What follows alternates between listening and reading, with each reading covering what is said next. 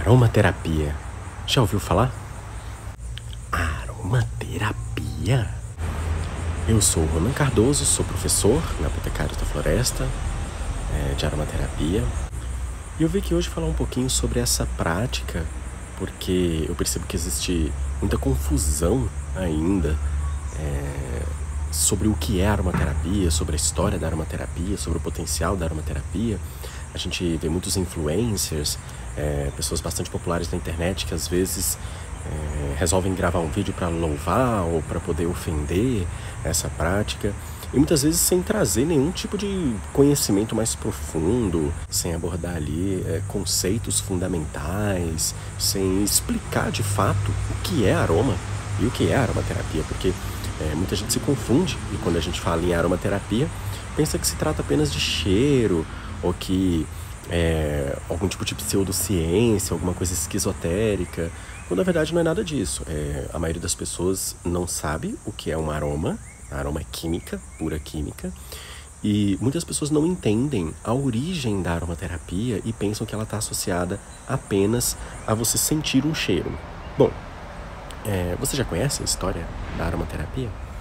A aromaterapia é um nome que surge na França, primeiramente, com o trabalho de um químico francês, é, título de um de seus livros. E esse químico, René Maurice Gattefossé, é seu nome, ele estava trabalhando em seu laboratório, sofreu um grave acidente, é, teve um acidente com uma explosão e rolando na grama na frente desse é, laboratório para poder tentar evitar ali uma queimadura mais grave, ele acaba contraindo uma bactéria que gera uma infecção. Na época, essa infecção era conhecida como gangrena gasosa e essa gangrena se espalhou pelos seus braços é, de uma forma bastante agressiva. Médicos chegaram a falar para ele amputação, ele relata tudo isso na sua biografia, um trabalho que ele deixa sensacional contando essa experiência. E é, num dado ponto o médico falou para ele, olha, se não melhorar em uma semana a gente vai ter que amputar os dois braços.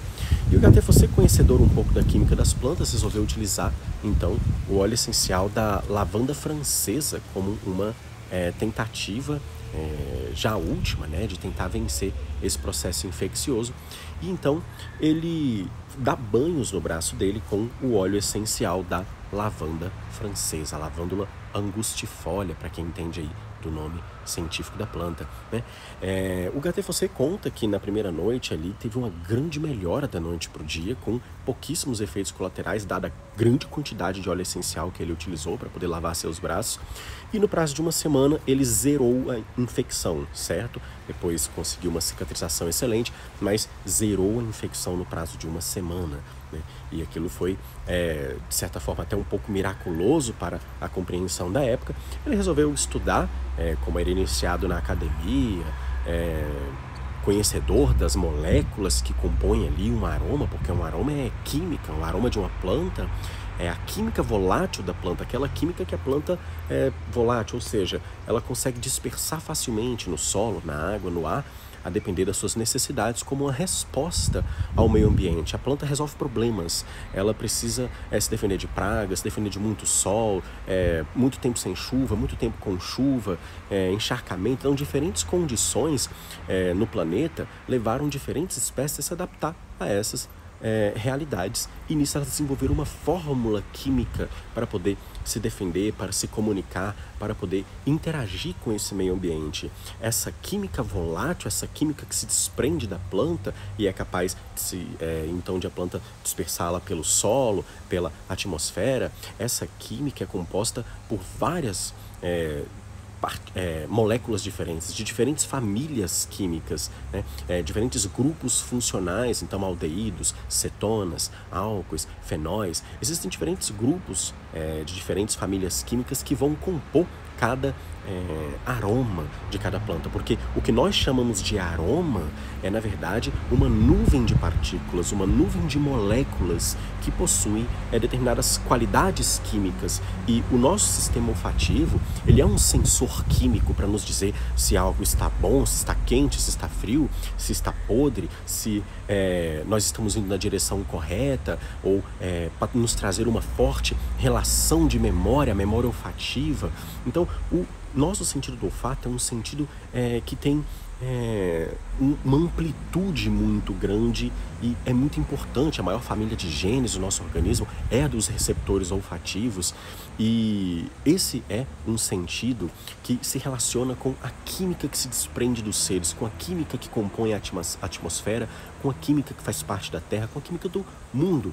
E esse sensor químico altamente rebuscado, quando captura uma molécula é, titaromático, é uma molécula orgânica, né, ali uma cadeia de carbono com alguns grupos funcionais ligados, esses receptores vão desencadear é, não só um sistema que vai do bulbo olfativo ali para a região do sistema límbico do nosso cérebro, como também ser absorvido é, é, pela nossa respiração para os alvéolos, direto para a corrente sanguínea, e na corrente sanguínea vão circular o corpo, essas moléculas, encontrando também receptores, os chamados receptores olfativos ectópicos, é, entre outros receptores, que vão metabolizá-las, que vão biotransformá-las e também resultar nas suas ações farmacológicas. Ou seja, um aroma é química, é uma molécula, um conjunto de átomos elaborado pela planta para uma determinada finalidade, se defender de uma praga, afastar ali um grupo de é, invasores, é, enfim, se regenerar após um dano. Então, plantas de planície que são é, bastante pisoteadas, árvores de florestas que podem ser comidas por traças e besouros. Cada necessidade levou a planta a desenvolver ali uma fórmula específica. E na aromaterapia, o que nós vamos fazer é conhecer o que é um aroma, entender essa química volátil do mundo, a química volátil das plantas, para poder aplicar terapeuticamente, porque essa química volátil é poderosa. E a aromaterapia ela bebe de muitas fontes diferentes. Né? Então, é, para a gente poder entender o que é um aroma, a gente tem que entender de química química, de bioquímica, porque são os metabólitos secundários da planta, a gente é, pode entender melhor como eles são produzidos.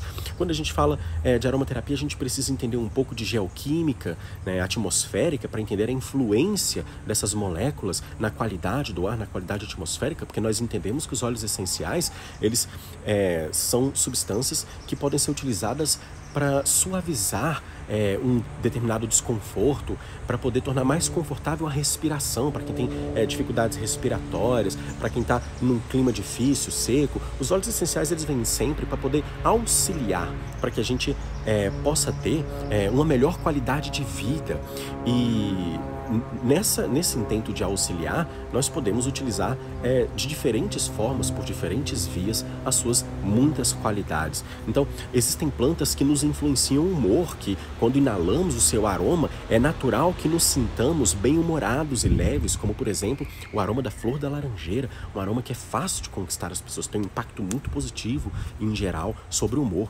É, nada nesse mundo é uma regra absoluta para todas as pessoas, mas nós temos esses padrões e que nos dão é, uma determinada direção quando falamos de uma terapia, quando falamos de um tratamento. Então, existem é, determinadas presenças aromáticas que são fundamentais é, em determinados processos é, onde a pessoa busca ali, a recuperação de uma determinada queixa ou passar por um determinado é, momento, seja ele um momento difícil, seja é, se preparando para um exercício, então querendo uma broncodilatação. Existem aromas como o de eucalipto que são excelentes para isso, são broncodilatadores naturais. Então, existem muitas qualidades nas plantas ao nosso redor que a aromaterapia, tocando essas diferentes áreas, a fisiologia, a bioquímica, é, a neurobiologia vegetal, nós vamos entender melhor o universo da planta, entender melhor o universo dessas moléculas, entender melhor a relação entre essas moléculas e o nosso organismo. E por isso a aromaterapia é, na verdade,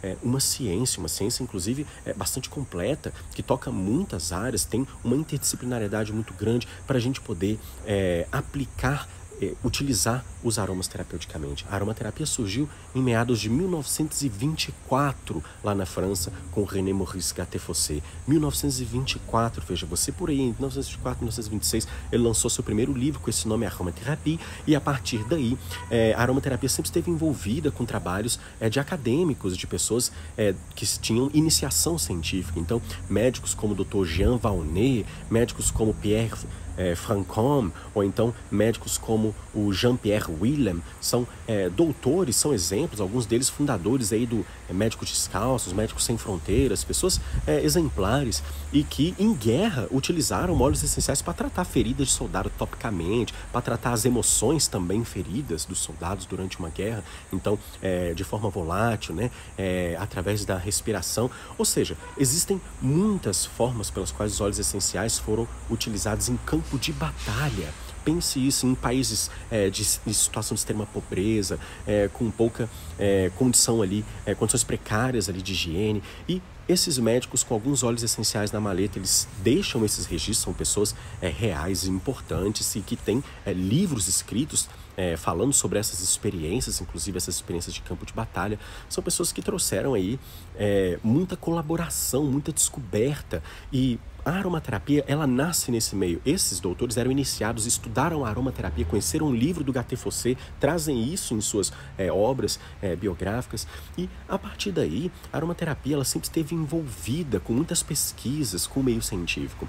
Com a recente popularização da aromaterapia, óleos essenciais é, aromáticos, perfumados, são muito populares, um, é, uma segurança muito alta no seu uso levou eles a serem muito populares no mundo todo. Então agora nós temos muita gente falando de aromaterapia, inclusive pessoas que desconhecem a própria história dela, que acham que é, não pode usar topicamente. Ora, ela nasceu no uso tópico, nasceu a partir de uma experiência do uso tópico que um químico fez. Né? Então, para trabalhar com aromaterapia, é preciso que a gente faça é, um curso, é, um, seja iniciado aí num curso sério, porque existem muitos cursos de final de semana que vão te falar de muitas propriedades de óleos essenciais, mas não te explicam sobre a farmacologia, não te dão os cuidados necessários que você tem que ter.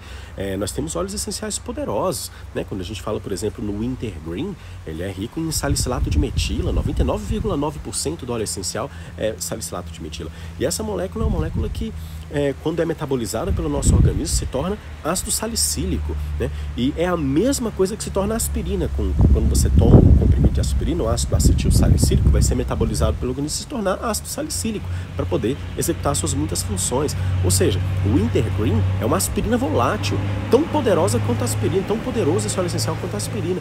Então, ou seja, existe muito que a gente precisa ter é, de conhecimento, porque a aspirina é muito útil, muito importante, um remédio fundamental, primeiro remédio vendido em larga escala pela indústria, lá em meados de 1900, né? é um remédio talvez dos mais utilizados ainda hoje no mundo, tem uma importância absurda existe uma certa segurança no seu uso, mas também existem riscos que precisam ser levados em consideração. Pessoas que é, acabaram de sair de uma cirurgia, que tem risco de ter uma hemorragia, afinal de contas, aspirina é anticoagulante, o Intergreen também é. Então, existem efeitos farmacológicos que nós obtemos com os óleos essenciais e apenas e somente apenas quem estuda, quem entende essas substâncias, quem utiliza, quem tem experiência prática com elas, o aromaterapeuta, a aromaterapeuta, apenas quem é iniciado em aromaterapia pode fazer bom uso dessas substâncias, pode entendê-las. Né? É óbvio que eu não estou dizendo aqui que o aromaterapeuta substitui o papel de um médico, jamais.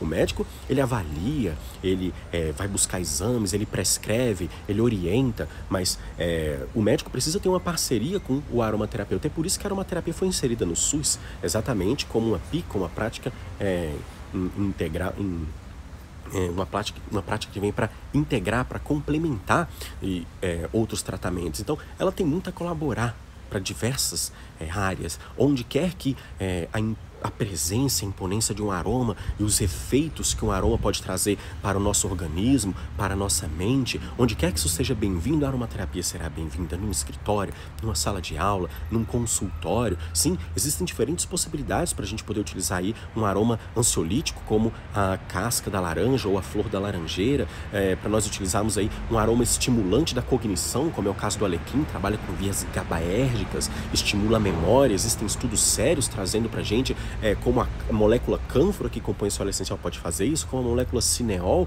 que compõe 1,8 cineol é, desse óleo essencial, desse, desse óleo essencial é, como ela pode fazer isso. Então existem muitos estudos porque diferentes áreas estão tentando entender a química das plantas há séculos. E esses é, conhecimentos reunidos, o aromaterapeuta, a aromaterapeuta traz, ele é, toma emprestados quando ele está na sua prática para ampliar a sua visão, para entender melhor o potencial, o limite daquilo com que está trabalhando. E os óleos essenciais são a química volátil das plantas, são o que as plantas utilizam, elas não podem correr, se esconder. Então, o que elas utilizam para transformar a natureza, veja um deserto, uma paisagem sem plantas, veja uma floresta, uma paisagem rica em plantas. O que acontece com a natureza daquele lugar? Isso acontece em virtude das plantas que estão ali. A água é importante, a luz é importante, a radiação é importante, é claro, mas com plantas a vida se desenvolve, com plantas a qualidade do solo melhora, fica controlada o nível de. É, é, micro-organismos patógenos no solo, o nível de micro-organismos patógenos no ar, as plantas fazem esse controle, elas têm um controle atmosférico. Importantes estudos mostram hoje como as florestas influenciam no clima global, porque suas partículas, é, quando elas emitem sua química volátil na atmosfera, e essa química é oxidada pela ação do oxigênio, pela ação da luz, é, gera ali aerosóis secundários, que são núcleos condensadores de umidade. A floresta, ela cria sua própria chuva, né? aglutina a umidade que ela transpira e faz com que essa umidade desça. Quando é, ela faz isso, diminui a pressão atmosférica, atrai massas. É, é, úmidas, massas de nuvens, massas é, de água dos oceanos, o que é conhecido como rios voadores, né? a bomba biótica, é estudada hoje seriamente. É, aqui na Amazônia, inclusive, muitos grupos do mundo inteiro estão estudando esse efeito da bomba biótica, como a Amazônia puxa massas de ar é, dos oceanos e é, impede a entrada de furacões e tornados ali naquela área mais do Nordeste do Brasil e traz, por conta da Cordilheira dos Andes, a bomba biótica atraindo essas grandes massas de nuvem, enriquecem elas com a própria umidade da floresta, e isso é por conta desse movimento que é gerado, então, bomba biótica, como um coração da, é, é, do clima do mundo, né? Paz bate na Cordilheira dos Andes, volta e irriga todo o nosso sudeste, uma região é, que não deveria ter terras tão férteis, mas que tem, não deveria por conta do trópico em que está. Quando a gente observa ali no mundo os países, as regiões que estão no mesmo trópico são desertificadas, mas aqui nós temos é, a floresta amazônica prestando esse serviço. Então as plantas elas transformam positivamente a natureza. Isso é fato. Uma, é, hoje existem médicos que recomendam os chamados banhos florestais, em inglês os forest baths, né? Em todo o mundo existe essa prática, porque o que se entende é que faz muito bem você caminhar no ambiente natural. Por que faz bem? É só visual? É porque tem coisas verdes, isso nos faz sentir bem? Não, química a química volátil da floresta. A floresta emite moléculas é, é, derivadas de isoprenos, como monoterpenos, sesquiterpenos. Então, poderia mencionar aqui linalol, poderia mencionar é, canfeno, poderia mencionar terpinoleno, alfa-pineno, beta-pineno, mirceno. São nomes de terpenos, moléculas, é, grupos de átomos que possuem uma ação é, positiva, por exemplo, sobre o nosso humor, que possuem uma ação positiva sobre os brônquios, que melhoram a respiração. Melhorando a respiração, melhorando a oxigenação, melhora o raciocínio, melhora a distribuição é, de energia para o seu organismo e a própria produção de energia do organismo em virtude disso. Caminhar é, é um excelente exercício, mas quando você caminha perto da natureza, você tem ainda o extra, o benefício da química volátil daquele lugar. E a química volátil da natureza é isso. O que seria o um mundo sem as plantas cuidando da terra e do ar? O que acontece com uma paisagem da qual a gente retira as plantas? Erosão, ressecamento, entre outros desequilíbrios, certo? Então é isso. É, eu queria trazer um pouco dessa história da aromaterapia e dessa é, amplitude dela, dessa rica possibilidade que nós temos de utilização é, dessas substâncias que são os óleos essenciais, substâncias que nós obtemos aí por destilação por arraste a vapor. É vapor de água que passa pela planta e arrasta esse espectro de moléculas com certo peso e que a gente consegue é, condensar e dali decantando, a parte superior vai ser chamada de óleo essencial no final da destilação, a água do vapor que foi temperada com algumas moléculas que conseguiram se misturar ali com é, a água vai ser chamada de hidrolato ou água floral. São os componentes principais, mas não são os únicos. Nós vamos na aromaterapia não só utilizar puros, mas também diluídos em óleo, em álcool, esses ingredientes. Então, existem diferentes aplicações, diferentes formas. É um conhecimento muito rico que busca compreender o potencial químico das plantas e especialmente é, focado nas plantas aromáticas medicinais, sua química volátil, aquela que será extraída com a destilação por arraste a vapor. Esse é o raciocínio da aromaterapia.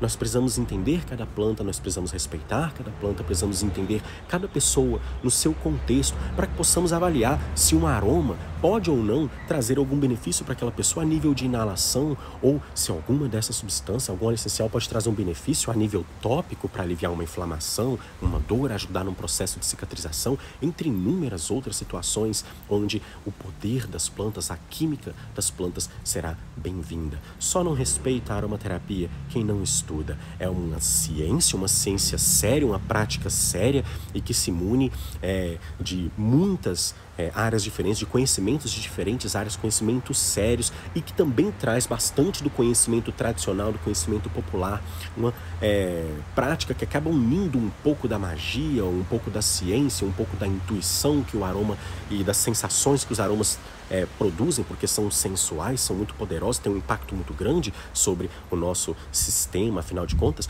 nosso organismo foi moldado num planeta repleto da química das plantas. O Homo sapiens mais antigo tem por volta de 200 mil anos. As plantas já habitavam o planeta há 600 milhões de anos atrás, a ciência nos dirá. Então, a química das plantas já tinha transformado a atmosfera e o nosso corpo se moldou, se adaptou para viver neste mundo. Daí a essa relação tão poderosa e tão íntima que nós temos com as plantas de um determinado lugar, com o aroma de determinadas plantas.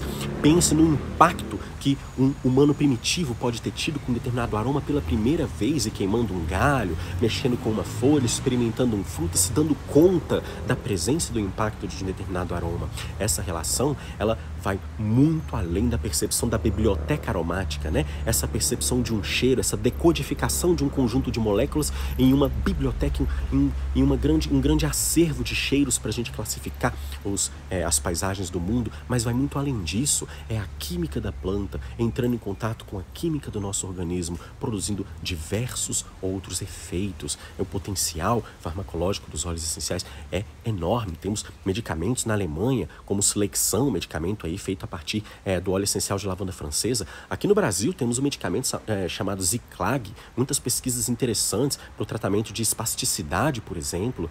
É, então, muitas aplicações poderosas, erva baleeira aqui do Brasil, breu branco aqui do Brasil, pimenta rosa aqui do Brasil, são plantas que possuem um grande potencial para poder trazer aí para terapias, é, em diferentes contextos no nosso dia a dia, porque a aromaterapia ela traz a natureza para perto de nós, ela compreende a natureza e traz a presença sutil da natureza. No processo de destilação, nós separamos o denso, o material vegetal, do sutil, aquele espectro de moléculas produzidas pela planta, as mais sutis, as que o vapor de água pode carregar. Então, nós trazemos essa arte sutil, essa verdadeira alma do mundo que cuida da terra, cuida do ar, que as plantas utilizam como ferramenta para realizar os seus processos e suas contribuições para o meio ambiente. É isso que nós trazemos para dentro de casa, para cuidar da família, para cuidar de um pet, para cuidar de um jardim. A aromaterapia, ela conhece a química do mundo para tratar,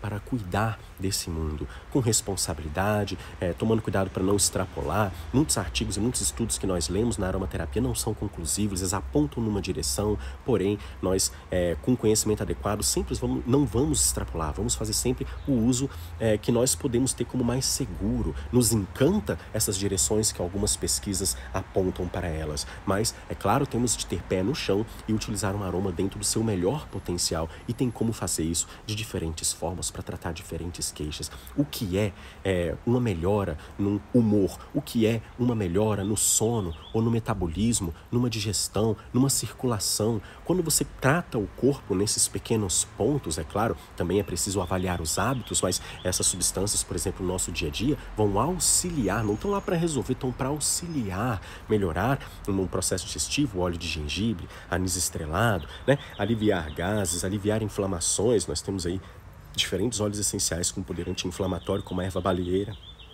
um poder incrível, a pimenta preta, é, copaíba, diferentes é, plantas que nós temos, é, não só nativas do Brasil, mas exóticas, bastante famosas, com todas as suas qualidades e que é, enriquecem muito é, qualquer experiência humana, seja pintando um quadro, meditando, seja é, num templo, seja estudando, seja é, numa reunião onde você quer um calor humano e um aroma pode é, tornar esse calor humano mais interessante, porque une as pessoas, os aromas evocam lembranças, memórias, podem unir as pessoas, um aroma de canela, de um chá de canela na casa, o aroma de um cravo, né? Então, é, o aroma de um pinheiro siberiano, de um spruce negro, aromas que é, transformam a forma como nós nos relacionamos com uma paisagem, como nós nos relacionamos com nossos próprios pensamentos muitos óleos essenciais, eles podem trazer alívio de tensão, podem aliviar estresses provocados, não só estresses oxidativos, é, na forma de certos cosmecêuticos, mas também estresse provocado ali por uma exposição longa a luzes numa tela, enfim, diferentes tipos de estresse provocado pelo sol, pela ação do vento. Os óleos essenciais, eles são produzidos pelas plantas para se protegerem, eles nos protegem também. O nome disso é adaptogenicidade, um conceito que surgiu lá na Rússia e que é, nos fala sobre essa qualidade que certas plantas terão terão, certas substâncias terão, de produzirem um bem-estar geral, de forma positiva elas atuam sobre nós, sobre nosso humor, sobre a produção hormonal, sobre determinados neurotransmissores. Sim, diversas plantas podem fazer isso porque são química. Aromaterapia é química. Planta, aroma é química. E é por aí que Apotecários da Floresta caminha, tentando trazer o máximo possível de conteúdo é, mais sério sobre essa prática essa arte e ciência. Se você gostou desse conteúdo, deixa o seu like, compartilha o vídeo, se inscreve no nosso canal, que a gente sempre é, vai trazer é, novos conteúdos, mas o seu apoio é muito importante, é o que empolga a gente, então é, ajuda a gente e até o próximo episódio.